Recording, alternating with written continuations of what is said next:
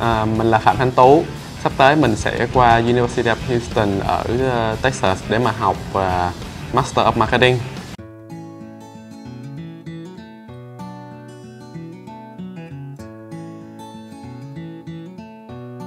À, du học Mỹ là một cái ước mơ mà mình nghĩ là đã có từ rất lâu rồi nhưng mà thời đi học của mình mình vẫn rất là muốn nhưng mà mình nghĩ lúc đó thời điểm đó thời điểm học cấp 3 rồi lên đại học mình vẫn còn chưa tự tin lắm với lại à, mình cảm thấy là mình chưa chuẩn bị đủ.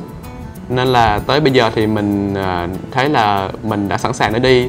À, công việc của mình hiện tại ở Việt Nam thì đã là về marketing rồi. Nhưng mà mình à, muốn muốn cải thiện hơn kiến thức của mình cũng như là có một số kinh nghiệm từ nước ngoài đặc biệt là nước Mỹ. Cho nên là mình muốn học thêm nâng cao hơn về marketing. Sau đó mình sẽ về đây mình sẽ có một cái công việc nó tốt hơn cũng như là mình hiểu biết hơn về cái công việc này.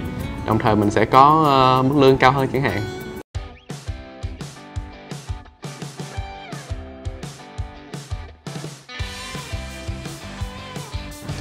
Chắc chắn thời gian đầu khi mà mới sang Mỹ thì sẽ có rất nhiều khó khăn vì đó là một môi trường hoàn toàn mới. À, mình sẽ gặp những con người mới và không phải chỉ là người Việt Nam hay người Mỹ mà sẽ là những người như là người từ châu Âu, Trung Quốc hay là tất cả mọi người trên thế giới đều có thể bạn có thể gặp đều ở nước Mỹ cả. Nên là cái quá trình mà hòa nhập với cuộc sống ở bên đó bước đầu mình nghĩ sẽ có một chút khó khăn. Mặc dù mình cũng đã đi nước ngoài nhiều lần nhưng mà cảm nhận đây là lần đầu tiên mà đi xa và lâu như vậy nhưng mà mình nghĩ là mình sẽ cố gắng hết sức để mà qua được cái bước đầu đó. Mình nghĩ uh, một trong những cái thử thách lớn nhất mà sắp tới mình sẽ gặp phải đó là ở trong một cái môi trường rất là cạnh tranh. Thứ nhất là nước mỹ là một nước đa chủng tộc cho nên là sẽ có rất nhiều bạn mà có thể gặp rất nhiều người. Chắc chắn là sẽ phải giỏi hơn bạn rất nhiều. Thứ hai nữa là trong mình học ngành về kinh tế thì vào cái môi trường kinh tế thì nó cũng sự thật sự rất là cạnh tranh. Nên là hai điều đó mình nghĩ đó là một cái mà mình sẽ phải ờ, cố gắng vượt qua.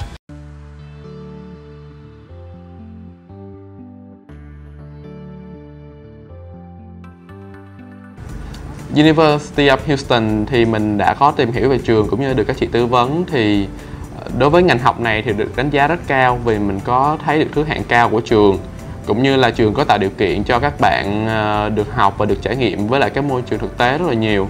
Nên là mình nghĩ một phần nữa là khí hậu ở ngôi trường này, ở khu vực ờ, Houston này cũng khá tương đối gần với Việt Nam.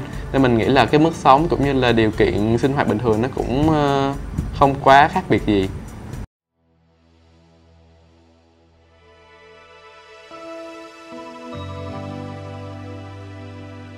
Đặt vấn đề muốn du học thì mình cũng rất phân vân khi ờ, hiện nay có rất là nhiều công ty tư vấn du học khác nhau và mình tìm đến New World là nhờ trên ờ, Facebook được ờ, rất nhiều du học sinh giới thiệu về công ty này.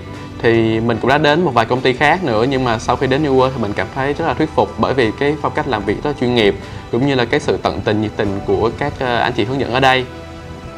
Mình có uh, luyện tập phỏng vấn một một với lại các chị ở đây thì các chị à, đưa mình vào cái khung à, phỏng vấn. Nó giống như là trong lãnh sự quán vậy đó.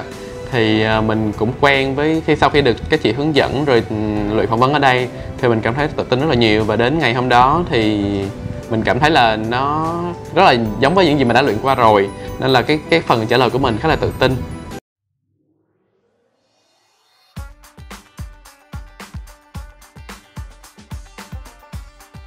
Khi mà đi phỏng vấn xin visa du học Mỹ thì có ba yếu tố làm cho các bạn đậu. Thứ nhất là các bạn nên có một cái kế hoạch học tập thật là rõ ràng, các bạn biết được mình sẽ đi học cái gì, tại sao mình lại học như vậy và học như vậy để làm được gì cho mình. Thứ hai, bạn nên có một cái vốn tiếng Anh nhất định, tại vì khi mà bạn đi qua bên đó học thì bạn nên chuẩn bị sẵn cho mình một vốn kiến thức tiếng Anh có thể căn bản để mà các bạn trả lời được. Đối với đời sống hàng ngày chẳng hạn thứ ba là các bạn nên có một cái phong thái tự tin hết sức. Mặc dù cái điều này khuyên rất là nhiều rồi nhưng mà mình thấy là nó không bao giờ thừa cả. Khi đi phỏng vấn thì bạn phải thật sự tự tin và tự tin vào chính mình. Để mà khi mà có những câu hỏi đối với mình thì mình trả lời một cách tự tin và uh, thuyết phục được uh, vị lãnh sự.